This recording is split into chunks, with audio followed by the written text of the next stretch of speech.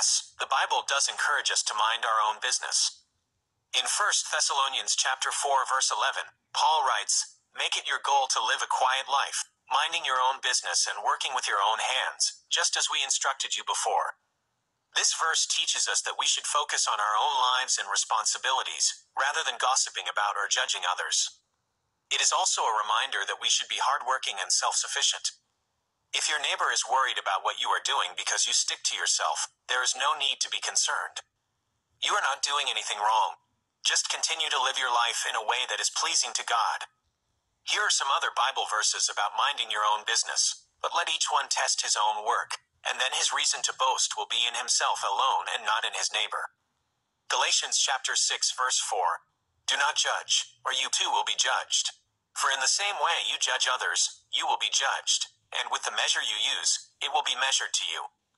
Matthew chapter 7 verses 1 to 2.